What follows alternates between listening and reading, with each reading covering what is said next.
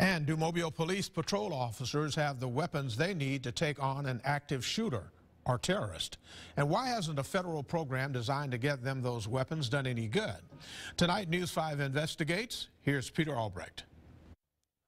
With more mass shootings taking place and fears of Paris-style terror attacks increasing, more focus has been placed on the police likely to be first on the scene, the patrol officer, and what types of weapons he has to end the threat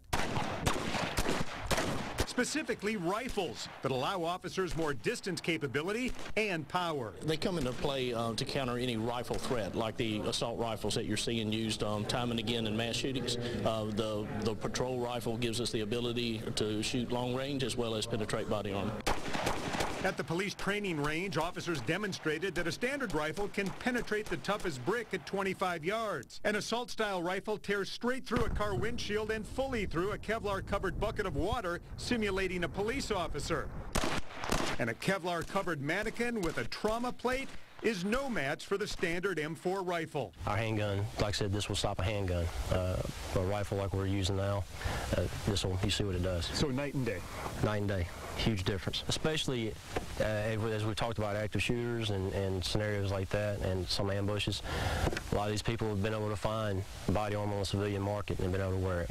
So they have something that can defeat us, but we have nothing that, that can counter that. Of the approximately 240 patrol officers on the streets, police officials officials estimate that maybe 35, or about 15%, have rifles. But those weapons were not issued by the department. Just for the safety purpose, a lot of officers take that initiative to go out and buy their rifle for their own safety. There is a federal program to equip police departments with rifles. The department actually owns about oh, just over 200 of these types of rifles. Uh, Um, those are issued only to special operations right now. They've not been issued to patrol officers. Why?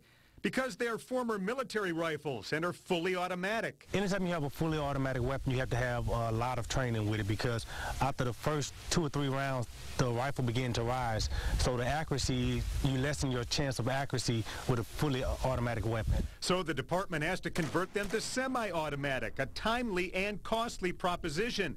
Plus, there's federal red tape when it comes to inspecting those rifles.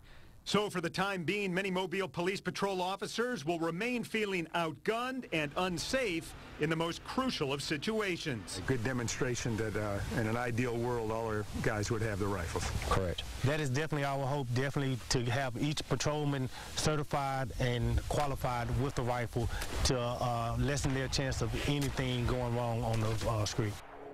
Now, officers who want to use their own rifle have to get approval from their superiors and then undergo classroom training and Mel also training out on the range with that weapon.